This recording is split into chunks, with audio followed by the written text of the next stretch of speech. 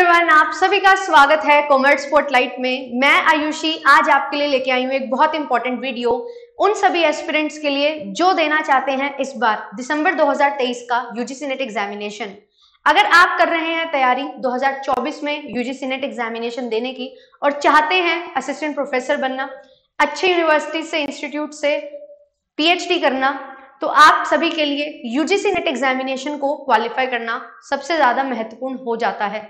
क्योंकि अगर आप असिस्टेंट प्रोफेसर बनेंगे तो मिनिमम एलिजिबिलिटी नेट एग्जामिनेशन है। और अगर आप चाहते हैं पीएचडी करना तो अगर आपको चाहिए जेआरएफ या पीएचडी एंट्रेंस के लिए तो भी आपके लिए इस एग्जामिनेशन को क्वालिफाई करना बहुत ज़्यादा ज़रूरी हो जाता है।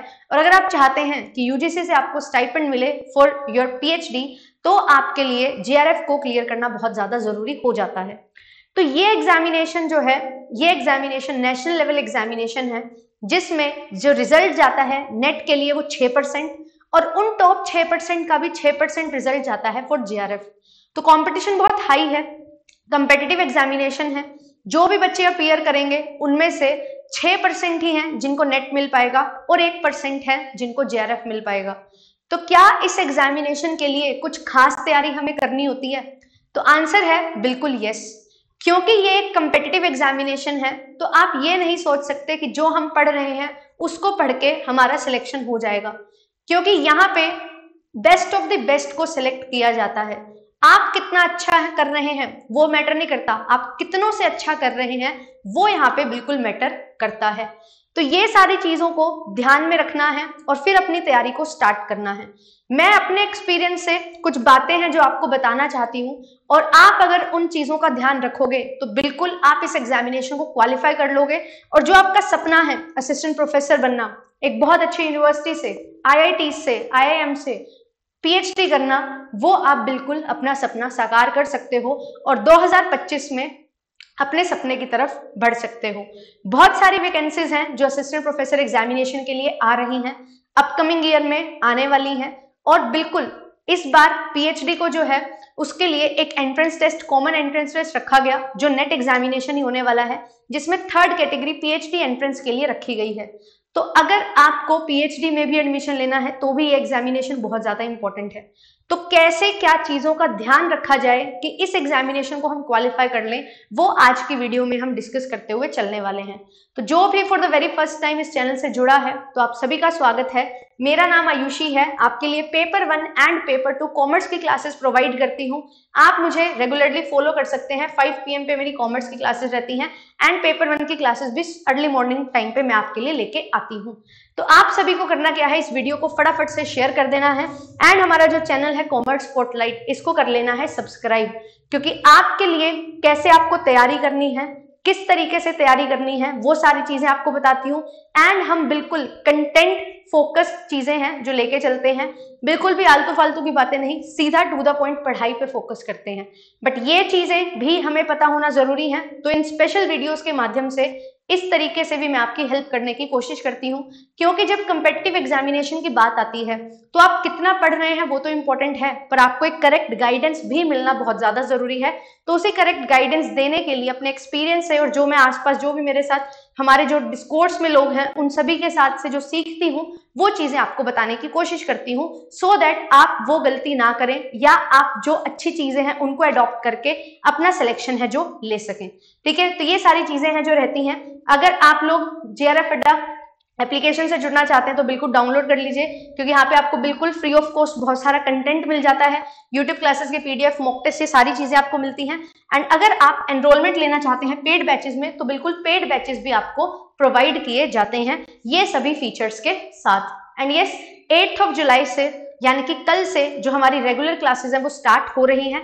पेड बैचेस में paper one and paper two के लिए। तो पेपर टू मेरा कॉमर्स है तो मैं आपके लिए कॉमर्स की क्लासेस लेने वाली हूँ। ठीक है, और सारी चीज़ें आपको यहाँ पे मिल जाती हैं। एट्थ ऑफ़ जुलाई से हमारी क्लासेस स्टार्ट हो जाएँगी।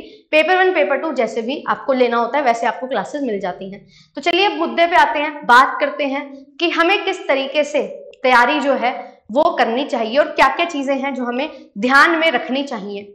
क्योंकि ये जो एग्जामिनेशन है, ये एक मंथ दो मंथ और तीन मंथ की तैयारी से नहीं होता।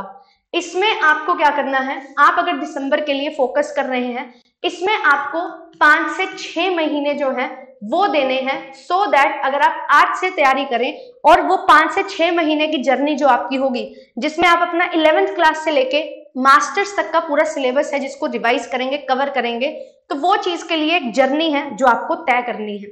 ऐसा नहीं है कि ये एग्जामिनेशन में आप एक दो महीना पढ़ो और हो जाएगा। मैं ये नहीं बोलती कि नहीं होता। ये वीडियो उनके लिए है, जो अभी से तैयारी करना स्टार्ट करना चाहते हैं। उनका एजुकेशन से थोड़ा गैप हो चुका है, या वो अभी अपने मास्टर्स में एंटर किए हैं, और उनका ड्रीम है असिस्टेंट प्रोफेसर बनना और अपना रिसर्च करना। तो उसके लिए आप इस एग्जामिनेशन के लिए सर्च करते हो, और आपको पता लगता है कि हाँ यूजीसी नेट एग्जामिनेशन है, जो आपके सपने को पूरा करवा सकता है। तो अब हमें ये जर्नी जो लेके चलनी है, ये पाँच से छह महीने की जर्नी होगी। क्योंकि मैंने जैसा कि स्टार्टिंग में बताया, आप कितना अच्छा कर रहे हो, वो मैटर नहीं करता। आप कितनों से अच्छा कर रहे हो, वो मैटर करता है। बेस्ट ऑफ़ द बेस्ट को यहाँ पे सिलेक्ट किया जाता है। तो it is a journey of five to six months जो आपको तय करनी होगी और क्या क्या चीज़ें आपको ध्यान में रखनी है। पहली चीज़ आपको जो ध्यान में रखनी है वो है, इस एग्जामिनेशन की डिमांड क्या है। आप इस एग्जामिनेशन के लिए तैयारी कर रहे हो तो आपको क्या चीज़ पढ़नी होगी। अब इस एग्जामिनेशन से आप बनोगे असिस्टेंट प्रोफेसर आप बनोगे रिसर्च स्कॉलर आप पीएचडी में एडमिशन लोगे। आप रिसर्च और टीचिंग के अधीना में जा रहे हो। तो किस तरीके से एक रिसर्चर का माइंडसेट होना चाहिए? किस तरीके से एक प्रोफेसर का माइंडसेट होना चाहिए? वो चीज़ें आपको सिखाना इस एग्जामिनेशन का मेन उद्देश्य रहता है। और इस एग्जामिनेशन में ऐसा नहीं है कि आप कोई एक फ़ील्ड में स्पेशलाइजेशन कर रहे हो। इस एग्जामिनेशन को क्रैक करने के बाद जब आप पीएचडी करोगे, जब आप प्रोफेसर बनोगे तो आप एक फ़ील्ड के एक्सपर्ट कहलाओगे। पर अभी इस पॉइंट ऑफ़ टाइम पे आपने जो अपनी इलेवेंथ क्लास से लेके मास्टर्स तक पढ़ा है, वो कंप्लीट नॉलेज आपके पास होनी चाहिए। तो अगर मुझे यहाँ पे कंप्लीट नॉलेज चाहिए तो मैं ये नहीं बोल सकती कि मुझे एक ही चीज़ में स्पेशलाइजेशन करनी होगी। No specialisation is not required तो एक चीज़ जो आपको समझनी पड़ेगी वो क्या है? कि आपको थोरो नॉलेज इस एग्जामिनेशन के बारे में होनी चाहिए। और अगर इस एग्जामिनेशन के लिए थोरो नॉलेज चाहिए तो उसमें समय बहुत ज़्यादा लगेगा। आपको रिसोर्सेस इकट्ठे करने होंगे। और जो पेपर वन है, वो जर्नल पेपर है, जहाँ पे आपका teaching aptitude research aptitude reading comprehension DI maths logical reasoning ICT people development environment higher education ये डाइवर्सिफाइड यूनिट्स जो हैं वो आपको यहाँ पे देखने को मिलती हैं, जो एक पर्सन को कंप्लीट बनाती हैं कि उसको हर तरीके की नॉलेज है जो होनी चाहिए। अपने इन्वायरमेंट से रिलेटेड हायर एजुकेशन से रिलेटेड टेक्नोलॉजी से related maths related analytical things ठीक है? और एप्टीट्यूड रिलेटेड सारी चीज़ें का ज्ञान हो। तो उसके लिए आपको चाहिए होता है एक कॉम्प्रिहेंसिव व्यू एक लार्ज व्यू जो आपको हेल्प करे हर चीज़ को समझने के लिए। और उसी के लिए सबसे पहली चीज़ और सबसे इंपॉर्टेंट चीज़ जो आपको इस जर्नी में ध्यान रखनी है that is what kind of questions are asked what type of topics are asked तो जो चीज़ें आपसे पूछी जा रही हैं, उनके बारे में आपको अवेयर होना पड़ेगा। क्या आपसे डायरेक्ट क्वेश्चंस पूछे जाते हैं? क्या आपसे अंडरस्टैंडिंग बेस्ड क्वेश्चन पूछे जाते हैं? क्या आपसे एनालिटिकल क्वेश्चन पूछे जाते हैं या आपसे हाई रोडर थिंकिंग स्किल्स पूछे जाते हैं? वो टाइप ऑफ़ क्वेश्चंस को आपको समझ के ही अपनी तैयारी को स्टार्ट करना है। और ये जो तैयारी है, ये पाँच से छह महीने की है एज आई मैं तो यहाँ पे आपको रिजल्ट्स एक महीने में मिलेंगे, ऐसा नहीं होगा। आप कोई चीज़ पढ़ रहे होंगे जनरल पेपर तो मैंने बताया पेपर टू जो है आपका, जैसे मेरा पेपर टू कॉमर्स है। तो कॉमर्स में भी दस यूनिट है, बाकी जितने भी 83 सब्जेक्ट्स में एनटीए कंडक्ट करवाता है ये एग्जामिनेशन तो उसके जो 83 के 83 सब्जेक्ट्स हैं, उनमें सभी पेपर टू में अपने अपने 10-10 यूनिट्स होती हैं और वो 10 यूनिट कंप्राइज करती हैं 40 से 45 आपके पेपर टू के सब्जेक्ट्स जो आप अपनी ग्यारहवीं से लेके मास्टर्स तक कवर करते हो। तो उन सभी की नॉलेज आपके पास होनी चाहिए। आप अकाउंट्स में अच्छा कर रहे हो, आप फाइनेंस में अच्छा कर रहे हो, आप टैक्सेशन में अच्छा कर रहे हो मैटर नहीं करता।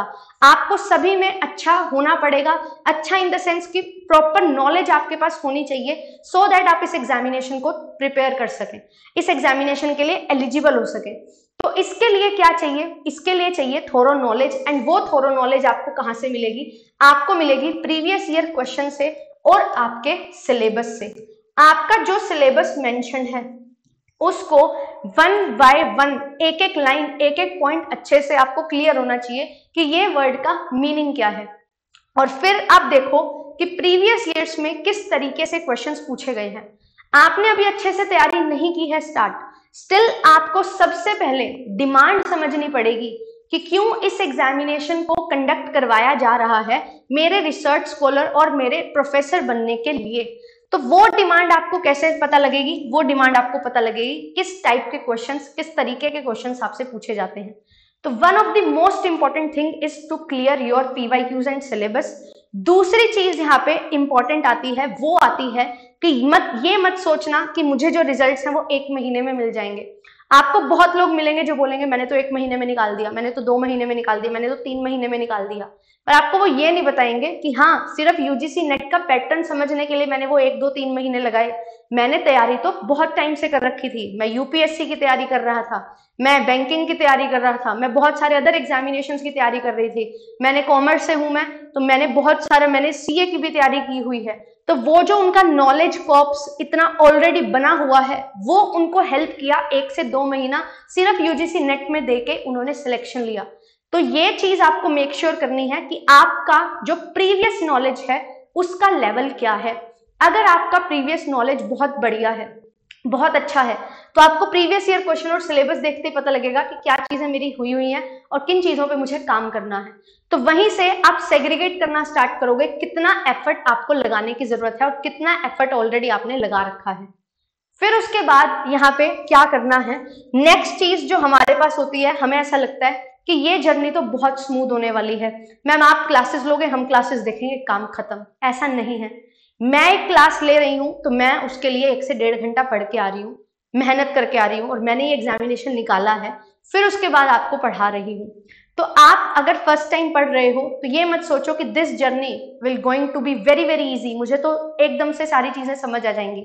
आपको एक दो महीना लगेगा जब आप तैयारी कर रहे होंगे, आपको चीज़ें समझनी भी होंगी, और और चीज़ों को भी साथ साथ टैकल करना पड़ेगा। कैसे एमसीक्यूज को प्रैक्टिस करना है, कैसे टेस्ट सीरीज़ लगानी है कैसे नोट्स बनाने हैं, कैसे उनको रिवाइज करना है। तो रिजल्ट्स आपको एकदम से नहीं मिलने वाले हैं। रिजल्ट्स आपको एक दो महीने के बाद दिखने स्टार्ट होंगे। और ये जो है एक लॉन्ग जर्नी रहेगी तो आपको अपने आप को कन्विंस करना पड़ेगा कि this journey is not going to be very very easy challenges आएँगे बट उनको एक्सेप्ट करके आगे बढ़ना पड़ेगा। तो आप इस एग्जामिनेशन के लिए तैयार हो। अगर आप चैलेंजेस लेने के लिए ही तैयार नहीं हो अगर आपको लगता है कि मुझे तो डीमोटिवेशन हो जाता है थोड़ी सी चीज़ से तो ये एग्जामिनेशन आपके लिए नहीं है। क्योंकि ये competitive examination as I told सिर्फ़ सिर्फ़ छह परसेंट रिज़ल्ट जाता है नेट के लिए और एक परसेंट जाएगा जेआरएफ का। तो जो वो एक परसेंट में आना चाहते हैं, उनको नाइनटी नाइन परसेंट बच्चों को पीछे छोड़ना है। और उसमें आपको बिल्कुल स्ट्रेस भी है जो फील होगा। और ये जो स्ट्रेस है, ये आपकी प्रोडक्टिविटी जो है, उसको इम्प्रूव करना चाहिए। अगर ये स्ट्रेस अच्छा है, हम दो तरीके के स्ट्रेस पढ़ते हैं ना स्ट्रेस मैनेजमेंट में एच में अगर आपने पढ़ा हो स्ट्रेस और डिस्ट्रेस तो ये जो स्ट्रेस है वो अच्छा स्ट्रेस है, जो आपको हेल्प करेगा आपकी प्रोडक्टिविटी को इंक्रीज करने में। आप और ज़्यादा अच्छे से पढ़ोगे, और ज़्यादा इनडेप्थ पढ़ोगे तो वो चीज़ आपको यहाँ पे समझनी पड़ेगी। स्ट्रेस को मैनेज करना पड़ेगा एंड देन अपनी तैयारी है डेली बेसिस पे करनी पड़ेगी। ये चीज़ आपके लिए बहुत ज़्यादा ज़रूरी है, और यही एक रामबाण है किसी भी कंपेटिटिव एग्जामिनेशन जो है, उसको अच्छे से टैकल करने का। क्योंकि ये अपने आप को बेस्ट बनाने की एक जर्नी है पर्सनैलिटी डेवलपमेंट की एक जर्नी है, जो आपको बहुत इजीली नहीं बट यस हार्डवर्क से कंसिस्टेंसी से बिल्कुल देखने को मिलेगी। अगर आप ये चीज़ एक्सेप्ट कर लेंगे कि हाँ चैलेंजेस आएँगे तो आपके अंदर वो रेजिलियंस है जो बिल्ड होगा। और रेजिलियंस बिल्ड होगा तो आप मोटिवेट होंगे खुद ब खुद कि हाँ मुझे ये काम करना है। और वो जील आपके अंदर होगी तो आप वो काम को बहुत अच्छे से कर पाएँगे। और फिर इसके बाद यहाँ पे, जब हम बात करते हैं कि हमें पढ़ाई करने स्टार्ट कर देनी है तो as I mention in first point आपको सबसे पहले सिलेबस और पीवाई क्यूज को स्टडी करना है before studying the subject actually आप पढ़ रहे हो यूट्यूब पे आपने वीडियो देखी, आपको समझ आया, आपको लगा ये एग्जामिनेशन तो बहुत ईजी है। पर सबसे पहले सिलेबस और पीवाई क्यू को देखो। जब मैंने अपनी तैयारी स्टार्ट की थी, मेरे लिए एक बहुत अच्छा पॉइंट क्या रहा था? जब मुझे ये क्लैरिटी मिल गई कि मुझे इस एग्जामिनेशन को क्लियर करना है और उसी के बाद अपना जो भी है, मेरे को अपना ड्रीम फॉलो करना है। UGC NET is not the ultimate goal ये एक फ़र्स्ट स्टेप है। तो अब इस एग्जामिनेशन को क्लियर करना है। First thing I did was मैंने एक मॉक टेस्ट लगाया था। और वो मॉक टेस्ट क्या था? प्रीवियस ईयर किसी भी साइट पे जाओ previous year UGC NET examination मैंने 2020 में ये डिसीज़न बना लिया था तो मैंने 2018 वाला पेपर था आई थिंक मुझे जो मिला था, वो मैंने अटेम्प्ट किया। और जब मैंने वो अटेम्प्ट किया तो मेरे 100 क्वेश्चन यानी कि 200 नंबर में से मेरे कितने नंबर आए? 94 मार्क्स मेरे सिर्फ़ 94 मार्क्स आए थे। बहुत दूर थी मैं अपने टारगेट से बट मुझे तब बहुत अच्छे से क्लैरिटी मिल गई थी कि कौन से टॉपिक्स मेरे को आते हैं, अच्छे से आते हैं, और किन टॉपिक्स पे मुझे काम करने की ज़रूरत है। इवन 2020 में जब कोविड पीरियड था फ़र्स्ट हाफ़ के बाद, यानी कि जून, जुलाई में, मैंने क्या किया था? मैंने तैयारी करना भी स्टार्ट कर दिया था। फ्री प्लेटफॉर्म्स पे जाके बस क्लासेस लेना स्टार्ट कर दिया। कुछ नोट मेकिंग तब नहीं की, क्योंकि तब तो मैं अपनी ग्रेजुएशन में ही थी। 2020 मार्च में ग्रेजुएशन हुई है। कोविड पीरियड था तो वो सितंबर तक चला था सेशन तो इसीलिए वहाँ पे मैंने जस्ट देखना स्टार्ट किया कि एक्चुअली होता क्या है? कैसे क्वेश्चन आते हैं? कैसे टीचर एक क्वेश्चन को समझा रहा है? और उससे पहले मेरे को ये क्लियर हो गया था 94 मार्क्स अगर मेरे आ रहे हैं out of 200 in paper two तो मैं जो फिफ्थ सेमेस्टर पे हूँ अपने, जब मैं अपने फिफ्थ सेमेस्टर में थी ग्रेजुएशन के तो मुझे ये चीज़ क्लियर हो रही थी कि हाँ भाई, ये चीज़ तो मेरे बस की है। मतलब ये चीज़ मैं बिल्कुल कर सकती हूँ, क्योंकि अगर मैं इस पॉइंट ऑफ़ टाइम पे, जब मैंने आधा सिलेबस पढ़ा है अपना पूरा कंप्लीट जर्नी का 94 मार्क्स आ रहे हैं और मैं आगे इसमें से और इम्प्रूव कर सकती हूँ। कट ऑफ़ मुझे क्लियर थी कि हाँ लगभग कितनी जाती है? 65, 67, 68 इस तरीके से कट ऑफ़ जाती है। तो मैं बिल्कुल जो है इस टारगेट को अचीव कर सकती हूँ। ये चीज़ आपके माइंड में जब क्लियर होगी जब आप ये चीज़ से बिल्कुल संतुष्ट हो जाएँगे कि हाँ ये चीज़ मेरे सामने है आपकी क्लियर पिक्चर आपके सामने होगी तब आप बिल्कुल रेडी हैं किसी भी कंपेटिटिव एग्जामिनेशन की तैयारी के लिए। और एक और चीज़ मैं आपको यहाँ पे बोलना चाहूँगी कि आपको एकदम से रिज़ल्ट ओरिएंटेड नहीं बनना है। आपको फोकस करना है अपनी गलतियों को सुधारने में और जो आपके पास नहीं है उस चीज़ को समझने में। यानी कि सिलेबस अच्छे से कवर करो, पढ़ो, कुछ गलतियाँ रही उनको इंप्रूव करो, फिर उसके बाद आप रिज़ल्ट को एक्सपेक्ट करो। अगर आप स्टार्टिंग में ही सोच रहे हो कि एक महीना पढ़ के आप यूजीसी नेट निकाल लोगे तो ऐसा नहीं होता है, क्योंकि फाउंडेशन बनाने में ही इतना समय तो लगता है। हाँ अगर आप बहुत अच्छे तरीके से, कोई अच्छे लेवल की तैयारी कर चुके हो, है ना? बहुत अच्छे तरीके से, आपके पास कंटेंट तैयार है तो आप एक दो महीने यूजीसी नेट को समझ के बिल्कुल क्लियर कर सकते हो। बट आपको ये समझना पड़ेगा कि आपने एक्चुअल में कितनी तैयारी कर रखी है। उसके अकॉर्डिंग ये चीज़ें चलेंगी। और जो एक बच्चा जो अभी पोस्ट ग्रेजुएशन में एंटर किया है, उसके लिए ये पाँच से छह महीने की जर्नी बहुत ज़्यादा क्रूशियल होती है और बहुत ज़्यादा ज़रूरी भी होती है। तो मैंने अपने टाइम में यही चीज़ें फॉलो की और यही चीज़ों पे फोकस करते हुए अपनी तैयारी स्टार्ट की। एंड जब आप अपनी तैयारी स्टार्ट कर देते हो स्टार्टिंग फ़ेज़ में आपके पास बहुत सारा टाइम होता है। ठीक है? स्टार्टिंग टाइम आपके पास बहुत सारा है, जहाँ पे आपके पास क्लासेस हैं जो लिमिटेड होती हैं, ठीक है? लिमिटेड सिलेबस जो है आपका, वो अभी स्टार्ट हुआ है तो क्लासेस लिमिटेड है रिवीजन बहुत कम है आपके पास रिवीजन लिमिटेड है, ठीक है? इस पॉइंट ऑफ़ टाइम पे आपको सबसे ज़्यादा जो फोकस करना होता है क्लासेस कवर करके नोट मेकिंग पे। और नोट मेकिंग किस तरीके से सबसे बेस्ट होती है? जब तक आप कोई टीचर आपको पढ़ा रहा है, आप कहीं से पढ़ रहे हो सेल्फ स्टडी कर रहे हो जब तक आप अपने नोट मेकिंग नहीं करोगे, तब तक आपके लिए चीज़ें ज़्यादा फ्रूटफुल नहीं रहेंगी। अब एक चीज़ होती है नोट मेकिंग एक चीज़ होती है नोट टेकिंग नोट टेकिंग क्या होता है मैम नोट टेकिंग होता है पीडीएफ जो मैं आपको पढ़ा रही हूँ, उसकी पीडीएफ आपको दे रही हूँ दैट इज़ नोट टेकिंग मैं आपको पढ़ा रही हूँ, अपने नोट्स दे रही हूँ दैट इज़ नोट टेकिंग उन नोट से जब आप अपने खुद के नोट्स बनाओगे शॉर्ट नोट्स कंपाइल करोगे, अपनी कोई भी चीज़ जो आपके साथ कभी हुई है, कोई ईयर मान लो तो आप उसको याद रखना चाहते हो तो आपकी लाइफ में कुछ उस ईयर में जो हुआ है, उससे आप रिलेट कर सकते हो। आप कोई चीज़ को यहाँ पे लर्न करना चाहते हो, किसी ना किसी ऐसे इंसिडेंट से रिलेट करो, जो आपके साथ हुआ है, जिससे रिटेंशन और अच्छी होती है। और जो स्टैटिक पोर्शन होता है हमारा, वो चीज़ में ये चीज़ बहुत हेल्प करती है, जब आप रिलेट करते हैं। तो note making is very very important और स्टार्टिंग के एक, दो, तीन महीने में जितना ज़्यादा नोट मेकिंग आप करते हो, उतना ही आपके लिए फ्रूटफुल रहता है, क्योंकि रिवीजन के लिए कम है। मॉक टेस्ट का ओवरलोड नहीं होता। मॉक टेस्ट बिल्कुल आपको एक महीने में एक या दो लगाने होते हैं स्टार्टिंग के एक, दो महीने में। तो यहाँ पे ना तो मॉक टेस्ट की इतनी ज़्यादा टेंशन ना आपके पास बहुत सारी चीज़ें रिवाइज करने के लिए हैं, कम चीज़ें रिवाइज करने के लिए हैं तो नोट मेकिंग पे अपना पूरा फोकस आप कर सकते हो। तीन महीने में नोट मेकिंग करके फिर जब रिवीजन ज़्यादा होगी तो तब नोट मेकिंग को थोड़ा और कम करते जाओ शॉर्ट नोट्स बनाने की कोशिश करते जाओ। ये चीज़ आपको हेल्प करती है कि आप अच्छे तरीके से अपनी तैयारी कर सकते हैं। इससे ज़्यादा समय आपका नहीं लूँगी। ये जो सारी चीज़ें आपको बताई हैं, इनका ज़रूर आपको ध्यान रखना है और आपको बहुत सारी चीज़ें हैं जो सारी जगह मिलेंगी। बट आपके लिए सबसे ज़्यादा ज़रूरी क्या है कि आप एक अच्छे स्टूडेंट बने।